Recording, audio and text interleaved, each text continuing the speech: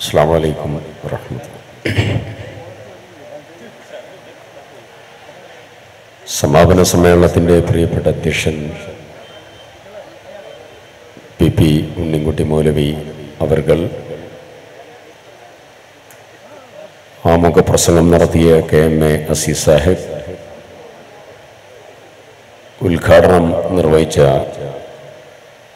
അഭിവന്ദ്യനായ M Muhammad Madani അവർകൾ ദേശീയ സംസ്ഥാന രാഷ്ട്രീയത്തിന്റെയും സാമുദായിക മുന്നോട്ടുള്ള പ്രയാണത്തിന്റെ ദിശ വ്യക്തമാക്കിയും സാരഗർഭമായിട്ടുള്ള പ്രസംഗം ഇവിടെ നടത്തിയിട്ടുള്ള advocate P M S Salam Sahib Sharif മാലേതിൽ Sufi Imran പ്രിയ സ്നേഹിതൻ നിസാർ സാഹിബ് പ്രിയപ്പെട്ട മജീദ് സുറാഹി ആദരണീയരും ബഹുമാനീയരുമായ ഐ എസ് എമ്മിന്റെ പ്രിയപ്പെട്ട പ്രവർത്തകരെ സ്നേഹിതരെ സുഹൃത്തുക്കളെ. ദീർഘമായ സംസാരത്തിലേക്ക് കടക്കുന്നില്ല. സംസാരിക്കുന്നതിന് മുമ്പായി മഴ പെയ്തതുകൊണ്ട് പുറത്തിരിക്കുന്നവർക്കൊക്കെ അകത്തിരുന്ന് സമാപന സമ്മേളനത്തിൽ കൃത്യതയോടുകൂടി പങ്കെടുക്കാനുള്ള സൗകര്യമുണ്ടായിട്ടുണ്ട്. ഞാൻ അഞ്ചെട്ട് മിനിറ്റുകൾ കൊണ്ട് അവസാനിപ്പിക്കും. കാലത്ത് എത്താമെന്ന് പറഞ്ഞതായിരുന്നു പക്ഷേ ചില പ്രയാസകരമായ സാഹചര്യം വന്നതുകൊണ്ട് സമയം അവസാന സമയത്തേക്കായി പക്ഷേ നിങ്ങൾക്കെല്ലാം തിരിച്ചു പോകാൻ ഉണ്ട് എന്നുള്ള യാഥാർത്ഥ്യം മനസ്സിലാക്കുന്നുണ്ട് കോവിഡ് നമുക്ക് നൽകിയ വലിയ ഒരു ബുദ്ധിമുട്ടും പ്രയാസവും. അത് എല്ലാ മേഖലകളെയും ബാധിച്ചതുപോലെ തന്നെ എല്ലാ സംഘടനകളുടെ പ്രവർത്തനങ്ങളെയും പ്രത്യക്ഷമായും പരോക്ഷമായുമുള്ള പ്രവർത്തനങ്ങളെ ബാധിച്ചതുപോലെ ഐ എസ് എമ്മിന്റെ പ്രവർത്തനങ്ങളെയും അതിന്റെ പ്രത്യക്ഷ പരിപാടികളെയും ഒക്കെ അത് ബാധിച്ചിട്ടുണ്ടായിരുന്നു. അധ്യാപകരില്ലാത്തതായ ക്ലാസ് മുറികളും വിദ്യാർത്ഥികളില്ലാത്തതായ സ്കൂളുകളും വിശ്വാസികളില്ലാത്തതായ ആരാധനാ ഗേഹങ്ങളും വാഹനങ്ങളില്ലാത്തതായ നിരത്തുകളും അടഞ്ഞുകിടക്കുന്ന കടകമ്പങ്ങളും എല്ലാമായി. ഒരു പ്രത്യേകമായിട്ടുള്ള സാഹചര്യത്തിലൂടെ യാത്ര ചെയ്യുകയായിരുന്നു ലോകസമൂഹം മുഴുവൻ. അതിൽ നിന്ന് ഏറെക്കുറെ മോചിതമായി എന്ന് വിവക്ഷിക്കപ്പെടുന്ന ഒരു സന്ദർഭത്തിൽ സാധാരണ ജീവിതക്രമത്തിലേക്കുള്ളതായ യാത്ര നടന്നു പോകുന്നത് പോലെ തന്നെ സാമുദായികവും സംഘടനാപരവുമായിട്ടുള്ള ഉത്തരവാദിത്ത നിർവഹണം. പ്രോജ്വലമായിട്ടുള്ള പരിപാടികളിലൂടെ സമാരംഭിക്കാൻ ഐ എസ് എമ്മിന്റെ സംഘടനാ നേതൃത്വത്തിന് സാധിച്ചു എന്നുള്ളതാണ് ഈ പരിപാടിയുടെ ഏറ്റവും മഹത്തായ സവിശേഷത. ഇതിന്റെ പ്രമേയം ഇതിന്റെ തീം ഏറെ ഗൗരവതരമായ ദേശീയ രാഷ്ട്രീയ സാഹചര്യത്തെക്കുറിച്ചും അതിന്റെ ഇതിവൃത്തവും അതിന്റെ മാനവും ഇന്നതിന്റെ ആവശ്യകതയുമൊക്കെ കൃത്യതയോടുകൂടി വിളിച്ചു പറയുന്ന ഒരു സമ്മേളനമായി ഇത് മാറുകയാണ്. ഇത് പറയാനുള്ളതായിരിക്കുന്ന അവകാശം ഐ എസ് എമ്മിനും മുജാഹിദ് പ്രസ്ഥാനത്തിനും ഉണ്ട് എന്നുള്ളത് തന്നെയാണ് അതിന്റെ ഏറ്റവും പ്രധാനപ്പെട്ട അടിത്തറ. ദേശീയ രാഷ്ട്രീയ പ്രസ്ഥാനത്തെയും ദേശീയ വീക്ഷണത്തെയും രാഷ്ട്രനിർമ്മാണ പ്രവർത്തനത്തെയും രാഷ്ട്രീയത്തെയും കൃത്യതയോടുകൂടി വിവക്ഷിക്കാനും അതിന് മുന്നിൽ നിന്ന് നയിക്കാനും അതിന് ചേതോവികാര പ്രവർത്തനങ്ങൾക്ക് നേതൃത്വം കൊടുക്കാനും ഒക്കെ സാധിച്ചിട്ടുള്ള ഇന്നലെകളിലെ തലമുറയുടെ വലിയതായിരിക്കുന്ന ഉത്തരവാദിത്തങ്ങൾ ഏൽപ്പിക്കപ്പെട്ടതായിരിക്കുന്ന പുതിയ തലമുറ. ആ വലിയ ധാർമ്മിക ഉത്തരവാദിത്വം മനോഹരമായ രീതിയിൽ മുന്നോട്ട് കൊണ്ടുപോകാൻ ശ്രമിക്കുന്നു എന്നുള്ളതിന്റെ ഏറ്റവും പ്രധാനപ്പെട്ട പരിപാടികളിൽ ഒന്നായി ഈ ദേശീയ മതേതര സമ്മേളനം മാറുകയാണ്. T M S Salam സാഹിബോട് സംസാരിച്ചതിന്റെ Manishankar Aiyar നിങ്ങളുമായി പങ്കുവച്ചതിന്റെ മറ്റുള്ള ഉദ്ഘാടകൻ ഉൾപ്പെടെയുള്ള ആളുകൾ നിങ്ങളുമായി സംവദിച്ചതിന്റെ ആകത്തുക.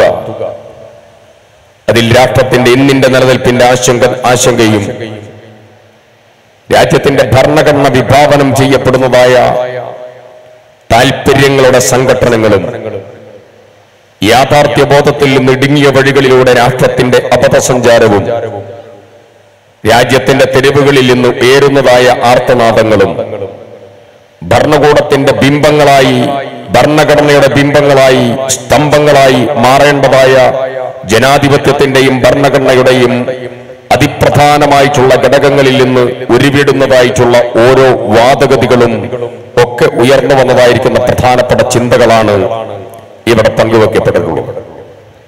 രാജ്യത്തിന്റെ പരമാധികാര കോടതികളും രാജ്യത്തിന്റെ ലെജിസ്ലേച്ചറുകളും രാജ്യത്തിന്റെ എക്സിക്യൂട്ടീവ് സംവിധാനം ഉൾപ്പെടെ ഭരണഘടനയും അതിന് നേതൃത്വം കൊടുക്കുന്ന ഭരണഘടനയും ഇതെല്ലാം ഏറ്റവും പ്രത്യേകമായിട്ടുള്ള ഒരു അന്തരീക്ഷത്തിലൂടെ കടന്നു പോകുന്ന ഹിതകരമല്ലാത്തതായ ഒരു സാഹചര്യം നമ്മുടെ മുമ്പിലുണ്ട്. ആ ഹിതകരമല്ലാത്തതായ സാഹചര്യം നമ്മുടെ മുമ്പിലേക്ക് വെക്കുന്നതായ ഓരോ സ്ഥാനത്തും അസ്ഥാനത്തുമുള്ളതായിരിക്കുന്ന ഓരോ ചെറുതും വലുതുമായിട്ടുള്ള കാര്യങ്ങളുണ്ട്. നേരത്തെ ചർച്ച ചെയ്യപ്പെട്ടതും നിങ്ങൾക്കറിയുന്നതുമായിട്ടുള്ള വസ്തുതകളായതുകൊണ്ട് അതിലേക്കൊന്നും കടന്നു പോകാൻ ആഗ്രഹിക്കുന്നില്ല. കർണാടകയിൽ നിന്ന് രണ്ട് അതിപ്രധാനമായിട്ടുള്ള കോടതിയുമായി ബന്ധപ്പെട്ട രണ്ട് പ്രധാനപ്പെട്ടതായിരിക്കുന്ന നിരീക്ഷണങ്ങൾ ഒന്ന് നിയമനിർമ്മാണവുമായി ബന്ധപ്പെട്ടാണ് കൺവർഷൻ ബില്ലുമായി ബന്ധപ്പെട്ടുകൊണ്ടാണ്. രണ്ടാമത്തത് ഹിജാബുമായി ബന്ധപ്പെട്ടുകൊണ്ടാണ്. ഈ രണ്ടും ദേശവ്യാപകമായി ഉയർത്തുന്നതായിട്ടുള്ള ചിന്തകൾ പ്രവർത്തനങ്ങൾ. രാജ്യത്ത് C A N R C ഉൾപ്പെടെയുള്ളതായിരിക്കുന്ന പ്രധാനപ്പെട്ടതായിരിക്കുന്ന സർക്കാരിന്റെ ആവിഷ്കൃതമായിട്ടുള്ള തന്ത്രങ്ങളും സമീപനങ്ങളും കാശ്മീറുമായി ബന്ധപ്പെട്ടതായിരിക്കുന്ന നിയമനിർമ്മാണം ഉൾപ്പെടെ.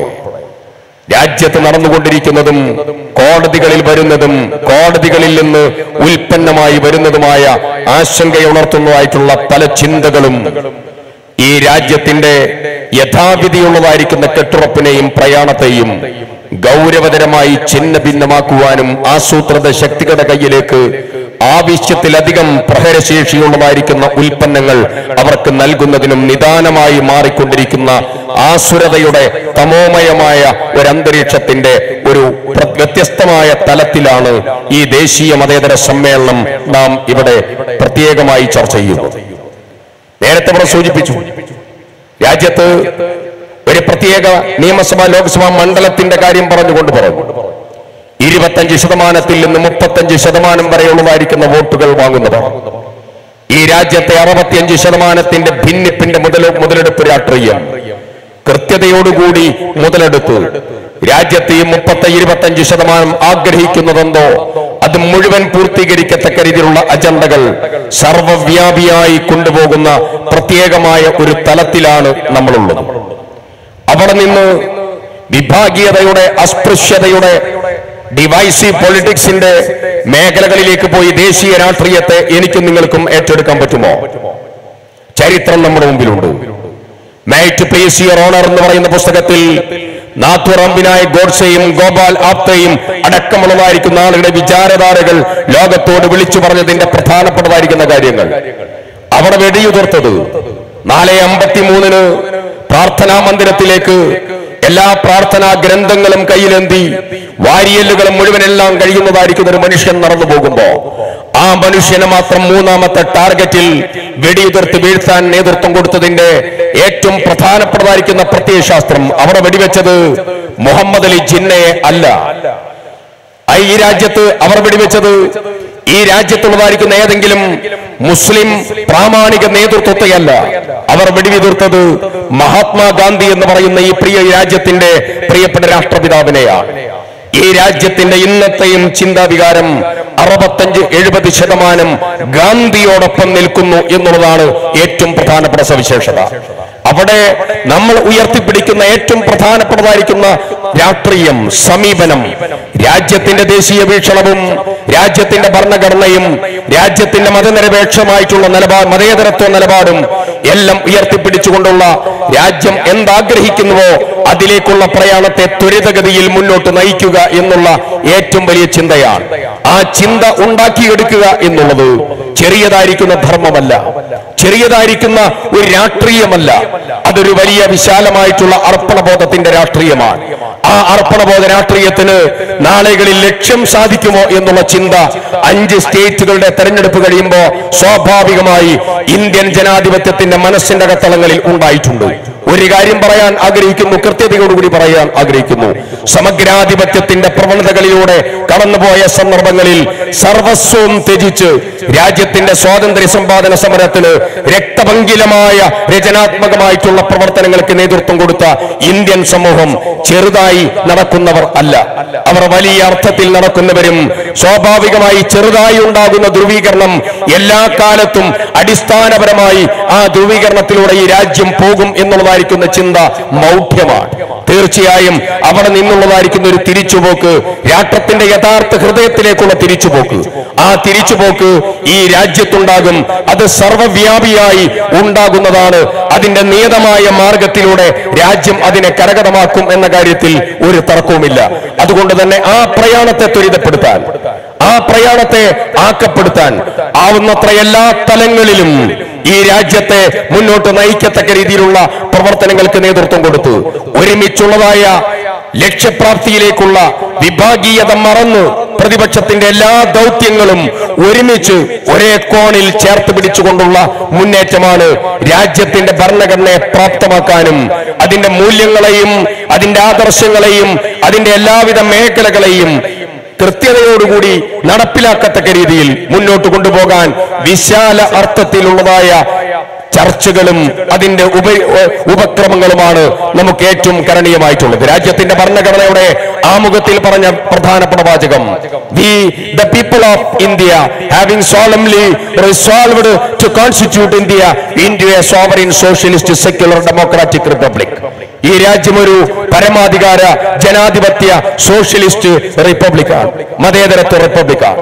അതിൽ ഓരോ വാചകം എടുത്തു കഴിഞ്ഞാൽ എനിക്കും നിങ്ങൾക്കും ബോധ്യമാകുന്ന കാര്യം ഓരോ മേഖലകളും അവിടെ വലിയ തലത്തിൽ വലിയ അളവിൽ അവിടെ ഭീഷണികളെ നേരിട്ടുകൊണ്ടിരിക്കുന്നു. ഭീഷണികളല്ല അതിന്റെ അകത്തളങ്ങളിലും പുറത്തത് ഞാൻ ഒരൊറ്റ എക്സാമ്പിൾ പറഞ്ഞുകൊണ്ട് അവസാനിപ്പിക്കാം. സെക്യുലറിസത്തിന്റെ ഒരുപാട് ചർച്ചകൾ നമ്മൾ നടത്തുന്നവരാണ്.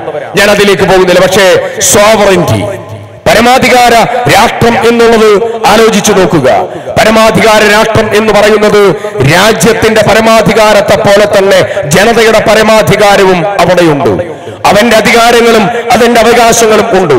രാഷ്ട്രത്തിന്റെ പരമാരി പരമാധികാരം എടുക്കുമ്പോ ആ പരമാധികാര രാഷ്ട്രത്തിനെതിരായി രാജ്യത്തിനകത്തു നിന്നും പുറത്തു നിന്നുമുള്ള എല്ലാ എതിർപ്പുകളും എല്ലാ കാലത്തും ഉള്ളതിനേക്കാൾ പതിന്മടങ്ങ് അപ്പുറത്തായി ഇന്ന് പർവതീകരിച്ച് നിൽക്കുന്ന ഒരു പ്രത്യേക സന്ദർഭത്തിലാണ് ഞാനിന്ന് നിങ്ങളുമുള്ളത് ഇന്ത്യൻ സബ് കോണ്ടിനെന്റ് എടുത്താൽ ഈ രാജ്യത്തിന്റെ കൂടെ ഓരം ചേർന്ന് നിൽക്കാൻ ഒരു രാഷ്ട്രവും ഇല്ലാത്തതായ ഒരു ഗതിയിലേക്ക് ഈ രാജ്യം ഇന്ന് കടന്നുപോയിട്ടുണ്ട്.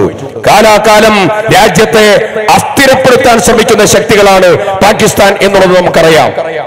തൊള്ളായിരത്തി അറുപത്തിരണ്ടിലെ ചൈന യുദ്ധം മുതൽ ചൈന എല്ലാ കാലത്തും നമുക്കെതിരായിട്ടുള്ള ഒരു സമീപനം സ്വീകരിക്കുന്നു ആന്തരികമായി എന്നുള്ളത് എനിക്ക് നിങ്ങൾക്കും അറിയാം അറുപത്തഞ്ചിലെയും എഴുപത്തി ഒന്നിലെയും യുദ്ധത്തിൽ യുദ്ധാനന്തരം പാകിസ്ഥാൻ എല്ലാ സന്ദർഭങ്ങളെയും സ്വീകരിച്ചുള്ള സമീപനം സമാനമായിട്ടുള്ള സമീപനമാണ് എന്നുള്ളത് എനിക്കും നിങ്ങൾക്ക് പറയാം. കൊച്ചു രാജ്യമായ നേപ്പാൾ വരെ ഈ രാജ്യത്തിനെതിരായി അവരുടെ പാർലമെന്റിൽ ചർച്ച ചെയ്യുകയാണ്. ഈ രാജ്യത്തിന്റെ ഭൂപടത്തിന്റെ അതിർത്തിക്കുള്ളിലേക്ക് കടന്നു വന്ന് നേപ്പാൾ എന്ന് പറയുന്ന കൊത്തു കൊച്ചു രാഷ്ട്രം രാജ്യത്തിനെതിരായി സംസാരിക്കുകയാണ്. ചൈന ഈ രാജ്യത്തിന്റെ ഭൂപ്രദേശം അവരുടെ സൈനിക മിലിറ്ററി പ്രവർത്തനങ്ങൾക്ക് ഉപയോഗിക്കുകയാണ്. മാസങ്ങളായി വർഷങ്ങളായി. രാജ്യത്തിന്റെ അകത്തളങ്ങളിൽ നിന്നും രോഹിംഗ്യൻ മുസ്ലിങ്ങളെ സംബന്ധിച്ചും അതുപോലെ ശ്രീലങ്കൻ അഭയാർത്ഥികളെ സംബന്ധിച്ചും രാജ്യത്തിന്റെ പരമാധികാരം നിലനിർത്തി നയം രൂപീകരിക്കാൻ വരെ സാധിക്കാതെ ഒരു രാജ്യം മുന്നോട്ട് പോകുമ്പോ പരമാധികാരം എന്നുള്ളതായ ഈ പ്രയോഗം രാജ്യത്തിന്റെ അകത്തു നിന്നും പുറത്തു വരുന്നു എന്ന് ശക്തികളുമായി ബന്ധപ്പെട്ടുകൊണ്ട് ചരിത്രത്തിലെ ഏറ്റവും വലിയ പ്രതിസന്ധിയിലൂടെ കടന്നു പോകുന്ന മേഖലയാണ്. ഏത് മേഖലയെടുത്ത് പരിശോധിച്ചാലും ആ പരിശോധനകളിൽ മുഴുവൻ എനിക്കും നിങ്ങൾക്ക് അറിയുന്നത് ചരിത്രത്തിൽ ഇന്ന് വർഗീയത പറയുമ്പോ സ്നേഹത്തിന്റെ രാഷ്ട്രീയം പറയുമ്പോ അതവിടെ തിരസ്കരിക്കപ്പെടും. അവിടെ വർഗീയത പറയുമ്പോ അതിനോട് കൂടുതൽ ആഭിമുഖ്യം പുലർത്തുകയാണ് രാജ്യത്തിന്റെ പൊതുസമൂഹം. അതിന്റെ ഒരു വിഭാഗം ആളുകൾ താൽക്കാലികമായി. ആ താൽക്കാലികമായി എന്നുള്ളത് താൽക്കാലികമായിട്ടുള്ള പ്രതിഭാസം മാത്രമാണ്. എല്ലാ സന്ദർഭങ്ങളിലും ആ വിഭാഗീയതയുടെ അസ്പൃശ്യതയുടെ ഡിവൈസീവായിട്ടുള്ള പൊളിറ്റിക്സിന് ഒരു ഒരു സന്ദർഭത്തിലും സ്ഥായിയായി മുന്നോട്ട് പോകാൻ സാധ്യമല്ല എന്നുള്ള തിരിച്ചറിവ് ഇന്ത്യൻ പൊതുസമൂഹത്തിന് മുമ്പിൽ കൃത്യമായി ആരോപണം ചെയ്യപ്പെട്ടിട്ടുണ്ട്. അതുകൊണ്ട് തന്നെ ഭാവിയെ ലാക്കാക്കിയിട്ടുള്ള വിശാലമായ അർത്ഥത്തിലുള്ള ചേർത്ത് നിർത്തുന്ന ഈ രാജ്യം എന്താഗ്രഹിക്കുന്നു? അതിനു വേണ്ടിയിട്ടുള്ള ഫാസിസ്റ്റ് ശക്തികൾക്കെതിരായിട്ടുള്ള വിശാലമായ ക്യാൻവാസ് രൂപപ്പെടുത്തിയെടുക്കാനുള്ള പ്രവർത്തനമാണ് ഈ സന്ദർഭത്തിൽ ഏറ്റവും പ്രധാനപ്പെട്ട ആവശ്യം. ആ ആവശ്യത്തിലേക്കുള്ള ചടുലമായ നീക്കങ്ങൾ ദേശീയ തലത്തിൽ നടത്തേണ്ട ഉത്തരവാദിത്തമുള്ള രാഷ്ട്രീയ പ്രസ്ഥാനമാണ് കോൺഗ്രസ് എന്നുള്ള ഉത്തരവാദിത്തം മനസ്സിൽ സൂക്ഷിച്ചുകൊണ്ട് തന്നെ അതുമായി ബന്ധപ്പെട്ടതായിരിക്കുന്ന എല്ലാ ചർച്ചകളും ദേശീയ തലത്തിൽ ആഗ്രഹിക്കുന്നു നടന്നുകൊണ്ടിരിക്കുന്നു. തുടക്കം കുറിച്ചിരിക്കുന്നു. എന്നുള്ളതും പങ്കുവെക്കുന്നു. രാജ്യത്തുള്ള പ്രധാനപ്പെട്ട രാഷ്ട്രീയത്തിന്റെ യു ടേൺ അത് ഈ രാജ്യ ഈ വർഷം അവസാനം നടക്കുകയാണ്. അത് രാജ്യത്തിന്റെ പ്രധാനമന്ത്രിയുടെ സംസ്ഥാനമാണ്. ആ സംസ്ഥാനം ഗുജറാത്താണ്. അവസാനം അഹമ്മദ് പട്ടേൽ ഗുജറാത്തിന്റെ രാഷ്ട്രീയത്തിൽ മുഖ്യമന്ത്രിയാകാൻ പോകുന്നു എന്ന് ഒരു രാജ്യത്തിന്റെ പ്രധാനമന്ത്രി പറഞ്ഞപ്പോ അവസാന അപഭ്രംശത്തിന്റെ രാഷ്ട്രീയത്തിന് വിധേയമായി ഭരണത്തിന്റെ കയ്യിൽ നിന്ന് കടന്നുപോയ ഗുജറാത്ത്. ആ ഗുജറാത്തിൽ നിന്ന് ഈ രാജ്യത്തിന്റെ തിരിച്ചുവിളി നടക്കും എന്നുള്ള ഏറ്റവും വലിയ പ്രതീക്ഷ പങ്കുവെച്ചുകൊണ്ട് ഈ സമ്മേളനത്തിന് എല്ലാവിധ ആശംസകളും അർപ്പിച്ചുകൊണ്ട് അവസാനിപ്പിക്കുന്നു. അഭിവാദനങ്ങൾ. അസ്സാം വലൈക്കും